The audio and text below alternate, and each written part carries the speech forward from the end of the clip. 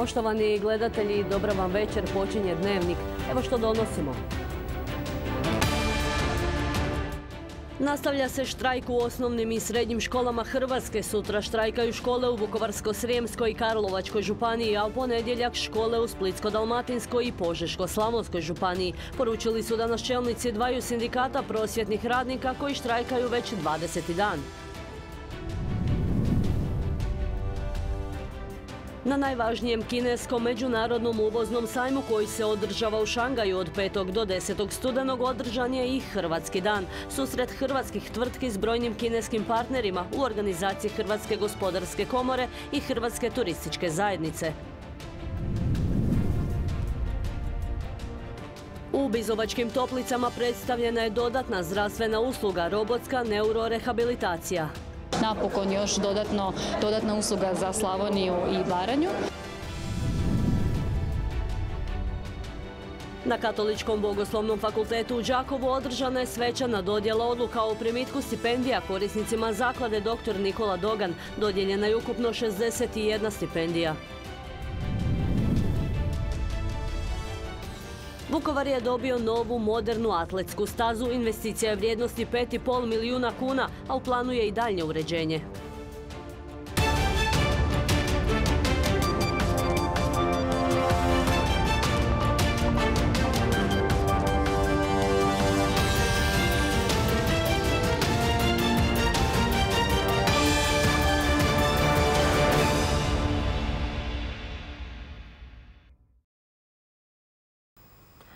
Nastavlja se štrajk u osnovnim i srednjim školama Hrvatske. Sutra štrajkaju škole u Vukovarsko-Srijemskoj i Karlovačkoj županiji, a u ponedjeljak će štrajkati škole u Splitsko-Dalmatinskoj i Požeško-Slavonskoj županiji, poručili su danas čelnici dvaju sindikata prosvjetnih radnika koji štrajkaju već 20. dan. Predsjednik nezavisnog sindikata zaposlenih u srednjim školama Hrvatske Branimir Mihalinec ocjenio je kako je prosvjed na Markovu trgu pokazao da zahtjevi za povećanjem koeficijenata nisu zahtjevi sindikalnih čelnika, već mnogobrojnog članstva koje se tamo okupilo. 5000 ljudi jednoglasno podržava zahtjeve i spremno je ići do kraja, a ostalih 63 tisuće članova su u štrajku. To je snažna poruka vladi, ustvrdio je Mihalinec. Ministar rada i mirovinskog sustava Josip Aladrović jučer je sindikatima obećao da će se kroz redizajn sustava plaća u javnim službama stvoriti pravednije i objektivnije vrednovanje njihova posla. Aladrović je naglasio da će u ministarstvu analizirati sustav plaća u idućih šest mjeseci. Ako sustav ne bude uređen do kraja lipnja, prosvjetarima će koeficijenti biti povećani za 2%. O zadnjoj ponudi vlade Mihalinec nije mogao puno reći jer pregovori još traju, ali ju je simbolično opisao kao nula i možda ništa. U Novosadskom kompleksu Vojske Srbije sutra će biti otkrivena spomen ploča zapovjedniku napada postrojbi bivše Jugoslavenske narodne armije na Vukovar, general majoru Mladenu Bratiću, što koalicija nevladinih organizacija Građanska Vojvodina opisuje kao ruganje žrtvama ratnih zločina, etničkog čišćenja i genocida iz 90. godina. Prenio je danas Novosadski portal 021 RS.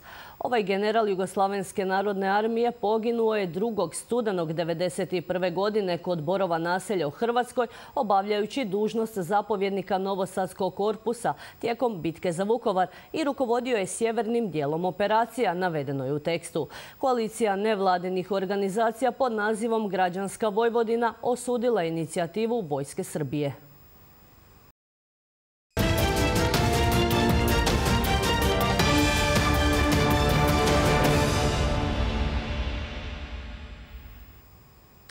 Novog Sada odlazimo do Kine s jednom puno ljepšom pričom.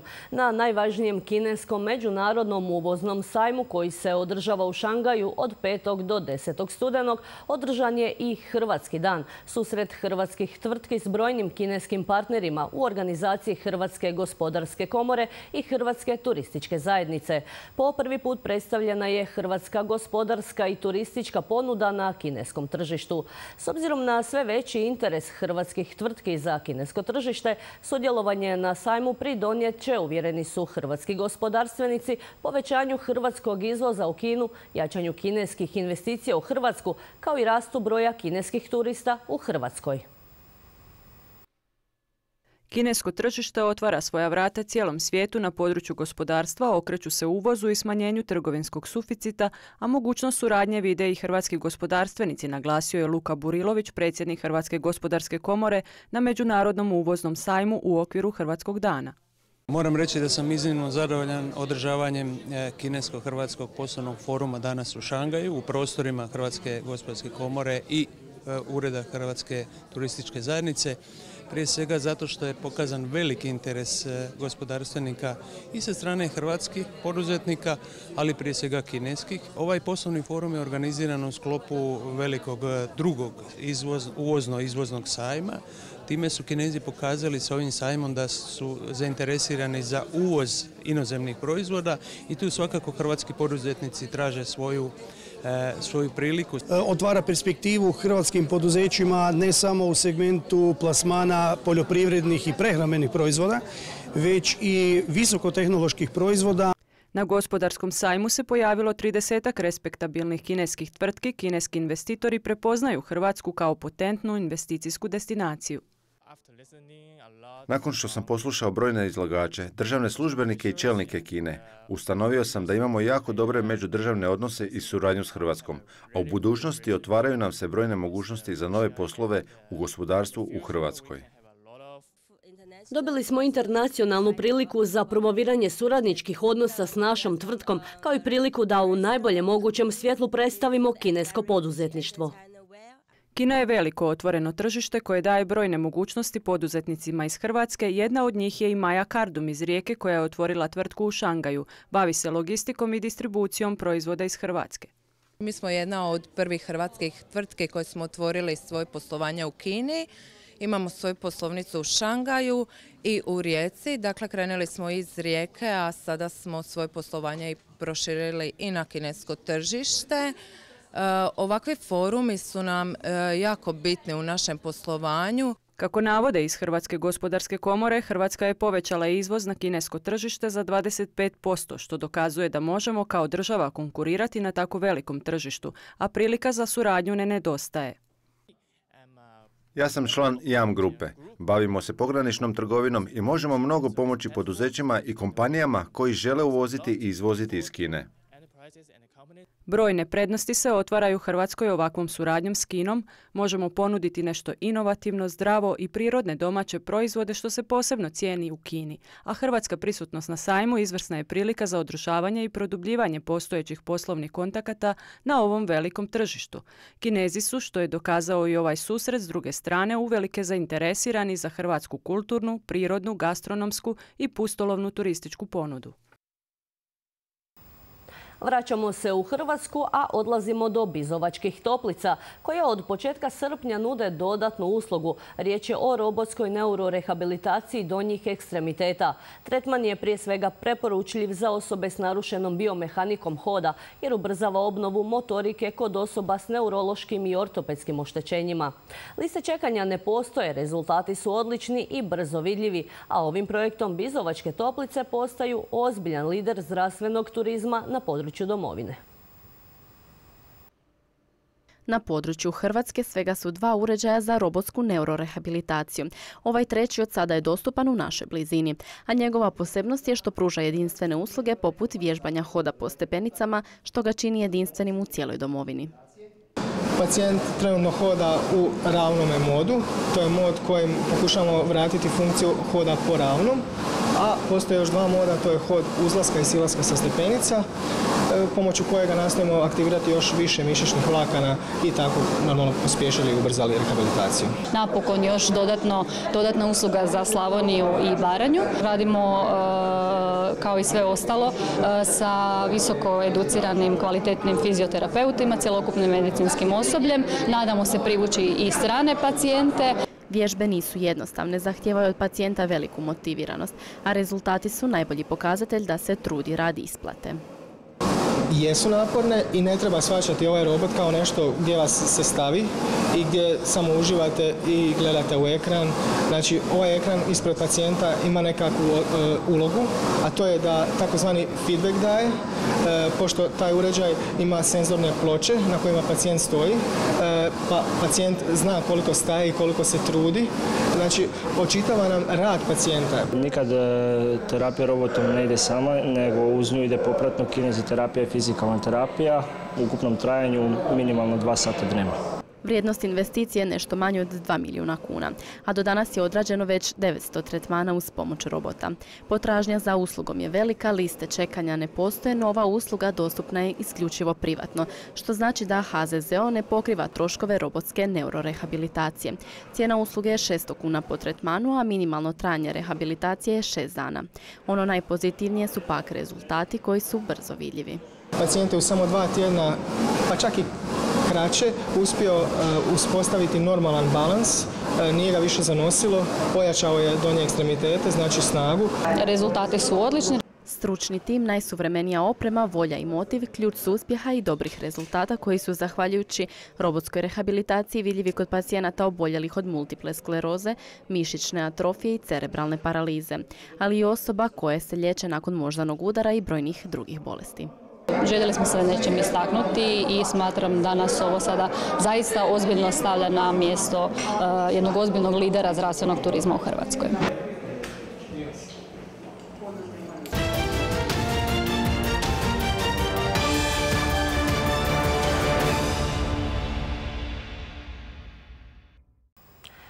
Sljedeća tema vodi nas u Đakovo. Na Katoličkom bogoslovnom fakultetu u Đakovu održana je svečana dodjela odluka o primitku stipendija korisnicima zaklade dr. Nikola Dogan, koja djeluje u okviru Karitasa Đakovačko-Osječke nadbiskupije. Ove godine podijeljena je ukupno 61 stipendija, za što je ukupno izdvojeno 573 tisuće kuna. Osmu godinu za redom zaklada doktora Nikole Dogana dodjeljuje stipendije na temelju socijalnog stanja podnositelja zahtjeva, odnosno brojnosti djece i prihoda po članu obitelji. Omogućavajući im ispunjavanje osnovnih potreba tijekom školske godine, ova će novčana potpora osobitu važnost imati za obitelji sa četvero ili više djece.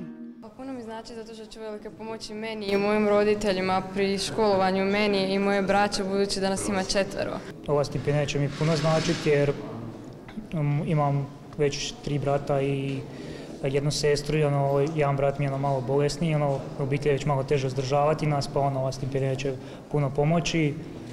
Upoznata s ovom stipendijom jer na početku srednje škole sam već primao kao srednjoškolac, a evo sad kao student. Zaklada je osnovana upravo s ciljem pomaganja socijalno osjetljivih obitelji pri školovanju jednog ili više njihovih članova, a nazvana je prema svećeniku čija je ostavština omogućila njezino pokretanje. Zaklada nosi ime dr. Nikola Dogan, e, nama dobro poznat svećenik i profesor Đakovačko-Osječke biskupije koji je ostavio za sebe određen novčani iznos s nakanom da se dijeli i prikuplja na tu nakon upravo studentima i đacima. Da je zaklada potrebna potvrđuje i sve veći broj pristiglih prijava. Prošle su godine pristigle 74 zamolbe za stipendiranje, a ove godine njih 113. To ujedno ukazuje na činjenicu da je u Slavoniji financijska situacija sve teža. Žao mi je da je to tako. Mi bismo voljeli da potrebe za tim nema. Međutim, kad pogledamo uopće pitanje siromaštva kod nas u Slavoniji, a to je kad se malo pogleda e, koliko ljudi dolaze i traže pučku kuhinju, koliko traže neke druge oblike pomoći i ovo, onda se može kazati da siromaštvo susrećemo na svakom našem koraku.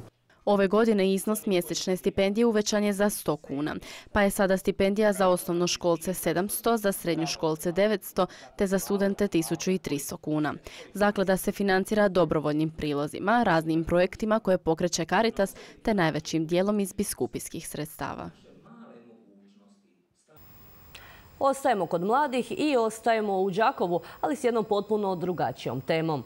Svako dijete bi dnevno trebalo popiti tri šalice mlijeka. Nutricionisti kažu da je mlijeko zdravo za razvoj djece, njihovih kostiju, zubi, mišića, a izvrsno je i za razvijanje koncentracije. O važnosti konzumacije mlijeka i mliječnih proizvoda moglo se čuti na Mliječnom danu, održanom u osnovnoj školi Vladimir Nazor u Đakovu. Ovaj edukativni događaj organizirala je Hrvatska mljekarska udruga.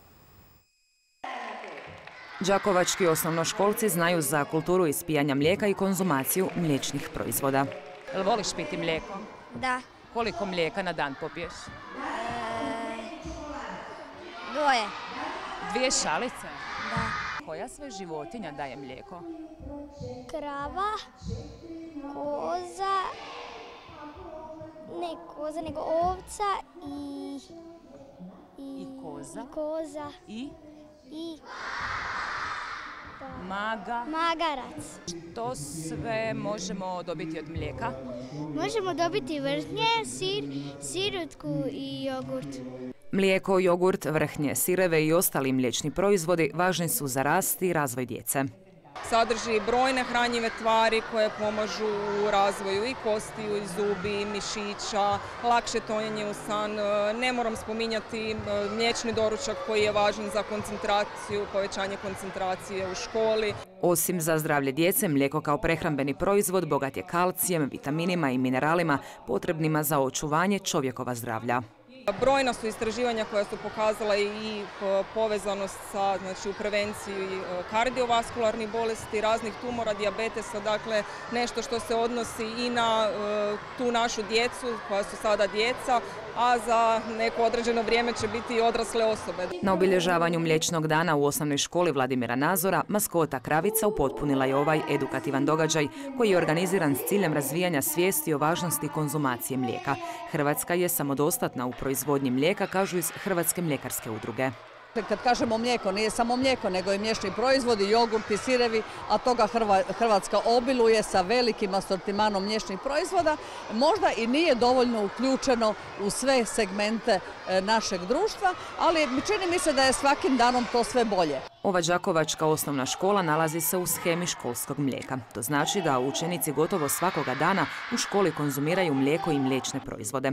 Savez udruga uzgajivača Holštajn Goveda i udruga uzgajivača Holštajn Goveda Osječko-baranjske županije osnovnoj školi predali su poklon bon. Mi smo dobili znači poklon bon od 10.000 kuna gdje ćemo kupiti i nabaviti komunikatore, interaktivne ploče, laserske pisaće boji za naše učenike sa teškoćama. Koliko je takvih učenika u vašoj školi? Mi u našoj školi imamo devet razrednih odjela učenika sa teškoćama, to jest ukupno 35 učenika. Drago nam je da djeca piju mlijeko, da jedu jogurte, apeliramo na što veću e, po- potrošnju naših hrvatskih mlijeka, naših hrvatskih proizvoda. U Hrvatskoj je trend povećanja potrošnje mlijeka i mliječnih proizvoda. Svakodnevna konzumacija ove važne namirnice stvara zdravo društvo. Poručeno je na Mliječnom danu u Đakovu.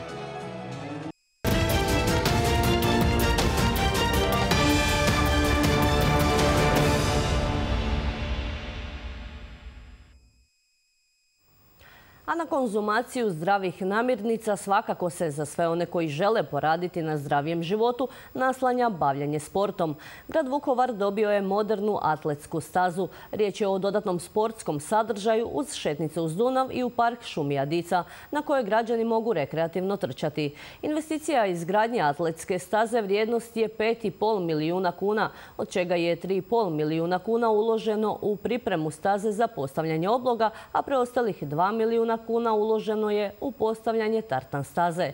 Nakon ove prve faze uslijedit će i druga faza radova, izgradnja parkirnih mjesta u neposrednoj blizini stadiona HNK Vukovar 1991, slačionica i tribina. Vukovar i njegovi građani do sada nisu imali ovakav sportski sadržaj. Nova tartan staza postavljena je na stadionu Hrvatskog nogometnog kluba Vukovar 1991. Završena je prva faza e, sanacije, zapravo i rekonstrukcije stadiona u središtu grada Vukovara, gdje smo zapravo e, u ovoj prvoj fazi napravili i dobili kao grad jedan sadržaj koji do sad e, naš grad i naši građani nisu imali. Naime, riječ je o modernoj atletskoj stazi, takozvanoj tartan stazi, znači e, stazi na kojoj se održavaju atletska natjecanja. U gumenu podnu oblogu na Vukovarskom stadionu uloženo je 5,5 milijuna kuna, od čega 3,5 za postavljanje obloga, a preostala 2 milijuna kuna za postavljanje tartan staze. Riječ je o velikoj vrijednosti, stoga je prilikom obilaska Vukovarski gradonačelnik pozvao građane na odgovorno ponašanje. Koristim ovu prigodu da ih pozovem da e, maksimalno koriste ovu stazu, ali sukladno njenoj namjeni, namjeni, znači da tu ne bude nekakvih vožnja biciklovima, motorima po njoj, da se izbjegavaju nekakve visoke pete ili bilo koji drugi način koji bi mogao oštetiti ovu stazu. Ovo je tek prva faza radova na stadionskom kompleksu u središtu grada. Na godinu će najavljeno je uslijediti i druga, s obzirom na radove, zahtjevnija faza. Gdje će cijeli kompleks dobiti jedan sasvim novi izgled sa novim parkirnim mjestima, u neposrednoj blizini e, stadiona sa novim tribinama, slačionicama, novom rasvjetom, novim travnjakom, navodnjavanjem travnjaka. Znači ponovno jedna e, više milijunska investicija gdje upravo završavamo e, konačnu vizuru, odnosno projekt samog, same te druge faze. Realizacija navedenih radova bit će financirana dijelom iz gradskog proračuna i europskih fondova, najavljeno je. Na kraju smo od dnevnika podsjećamo na najvažnije vijesti dana. Nastavlja se štrajk u osnovnim i srednjim školama Hrvatske. Sutra štrajkaju škole u Vukovarsko-Srijemskoj i Karlovačkoj županiji, a u ponedjeljak škole u Splitsko-Dalmatinskoj i Požeško-Slavonskoj županiji. Poručili su danas čelnici dvaju sindikata prosvjetnih radnika koji štrajkaju već 20. dan. Na najvažnijem kineskom međunarodnom uvoznom sajmu koji se održava u Šangaju od 5. do 10. studenog održan je i Hrvatski dan. Susret hrvatskih tvrtki s brojnim kineskim partnerima u organizaciji Hrvatske gospodarske komore i Hrvatske turističke zajednice. U Bizovačkim toplicama predstavljena je dodatna zdravstvena usluga, robotska neurorehabilitacija napokon još dodatno, dodatna usluga za Slavoniju i Baranju. Na Katoličkom bogoslovnom fakultetu u Đakovu održana je svečana dodjela odluka o primitku stipendija korisnicima zaklade dr. Nikola Dogan. Dodjeljena je ukupno 61 stipendija. Vukovar je dobio novu modernu atletsku stazu. Investicija je vrijednosti 5,5 milijuna kuna, a u planu je i daljnje uređenje. Poštovani gledatelji, bilo je ovo sve u večerašnjem izdanju Dnevnika, ali ostanite i dalje uz naš program. Hvala na pozornosti i doviđenja.